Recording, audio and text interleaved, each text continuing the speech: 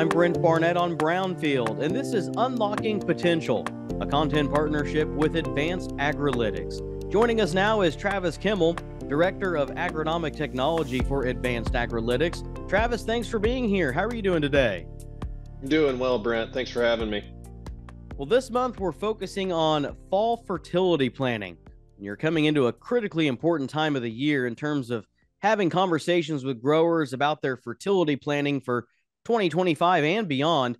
Now, with corn and soybean prices so low, what are the key points that you'll be emphasizing in these discussions? Yeah, so um, as we've been moving into into the month of August and and really working through fertility prescriptions, we like to start to work through those in the month of July and preparing, uh, you know, tonnage and pre-buying and things of that nature with our growers. And you know, as we've as we as we've entered into this and the markets have continued to soften, phosphate pri- prices are still fairly high, um, and, and it's not a fun conversation by any means. But as we look at this, you know, the things to emphasize is where is additional application of you know your your your macros going to provide the most efficacy. And so we really need to, to, to focus in on where those acres are within that field area and ha- and how we have some honest conversations about the economics of it. From the advanced agrilytics perspective, Travis, what is it about your methodology that makes these discussions different than just making nutrient recommendations?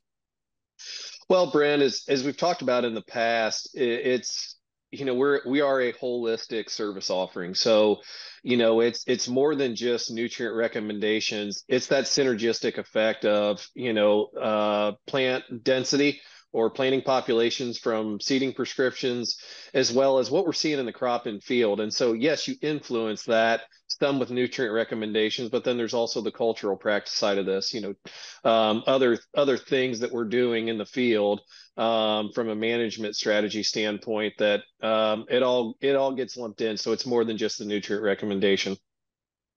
Now, Advanced Agrilytics definitely works to provide a, a, much more detailed, granular level of data analysis than its competitors. Why is this important for growers? Well, the biggest thing, and I see as I see this from from both a, a grower myself as well as um, from the Advanced Agrilytics side, it's it's truly the data analysis and the understanding um, of performance over time you know as we've been um, working with growers over the last in some cases nine years ten years in some cases you know the amount of information that we have um, compiled um, and how you can look at this then start to to in to insert how the growing season has interacted. You know, it's not just total rainfall, but really ET demand, um, throughout the growing season as well as receive rainfall. So start to get to a measure or level of stress in some of these environments and how our management strategy has influenced that crop or stabilized it over time. And so it's looking at a lot of folks want to concentrate on really just soil type.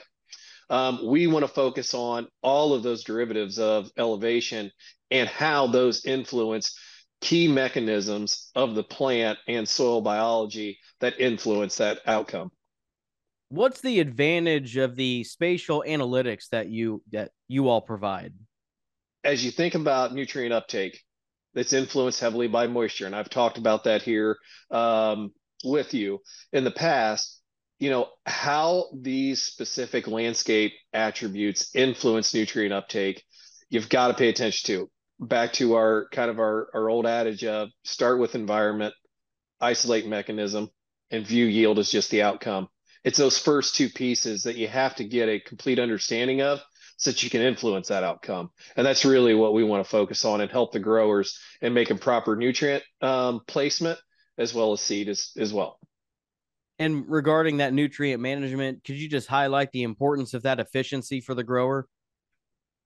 Yes. And so, you know, as you think about, you know, efficiency, you know, areas closest to the water table, higher in organic matter, um, well, that's where we're kind of the complete opposite of a lot of folks um, out there in the countryside, um, whether it be the retailer and or a private uh, or independent consultant. You know, those acres are most efficient Um, they don't require this as much nutrient because of you know increased water holding capacity, things of that nature that really influence that more efficient use of nutrient. It's the other acres, the more challenging acres are the ones that you really need to address. And quite honestly, that's the greatest opportunity for upside. Travis, what kind of long-term planning goes into nutrient placement? Well, and as I as I reference back to some of these long-term relationships we've had with growers, as I've you know uh, observed this crop and managing both new customers um, to our organization in this year, um, some that I personally manage, as well as the growers that have been with me now for nine plus years. You know, in the same weather pattern, same county, I'll say, and even fields that border each other there's going to be two very different outcomes at the when the combine rolls through this fall and a lot of it comes to all the work that we've done over the last several years of getting those acres in a position to be well have the highest probability of success so that you know as we think about agriculture it's cyclical right? So we know that we're going to come into these you're going to come into a period at some point where and it's not just at some point because they last for maybe maybe a couple growing seasons in this cycle. You're going to come into a period where these conversations around economics are going to be uncomfortable they're going to be tough and you're going to have no choice but to make concessions somewhere.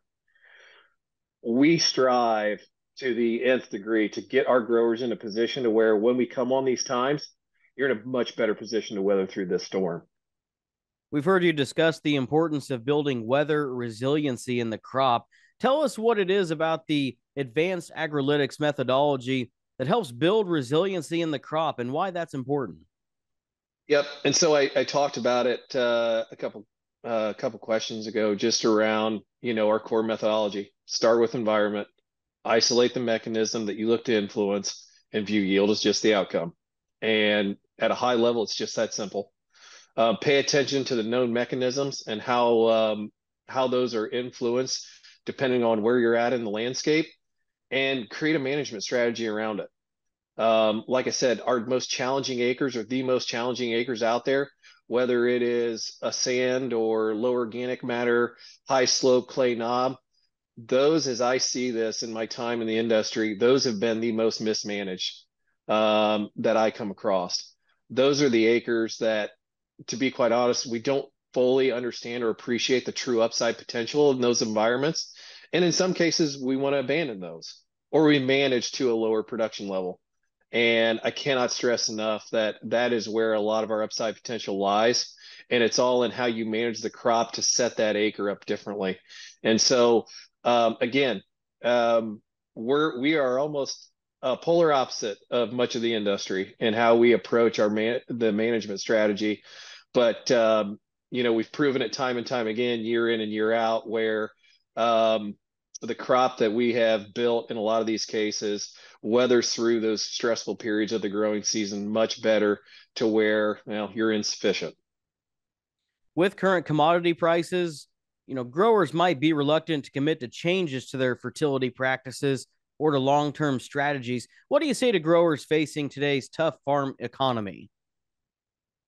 Um, the biggest thing is, you know, uh, uh, again, and we're and we're in these conversations with our our growers today of, um, you know, where can we where can we choose to um, cut back? Where is it not going to hurt us? And really utilizing our tools. You know, we talked about spatial analysis earlier. You know, our we we produce an enterprise report that looks at well, I'm going to say the farm holistically from, you know, as plant, you know, as planted products, uh, performance by environment, um, the operation, and bucketing, and really bucketing those op- um, I'm going to say the acres um, across the operation into well, let's just say three major buckets, if you will, so that you can kind of categorize and then organize these these environments to where know what you want to do um, to get the best possible outcome there, and then help work creative management strategy around it. And so, um, you know, with the today's tough uh, farming economy, there's going to have to be some some tough decisions made on how to to best utilize dollars. Travis, always great insights. How can growers get more information from your team? Well, you can certainly uh, go to our website, uh. Um, follow us on social media um, to get in touch with your closest uh, precision agronomist. Again, that's Travis Kimmel, and we thank you for joining us on Unlocking Potential, a content partnership with Advanced Agrilytics. I'm Brent Barnett, Brownfield.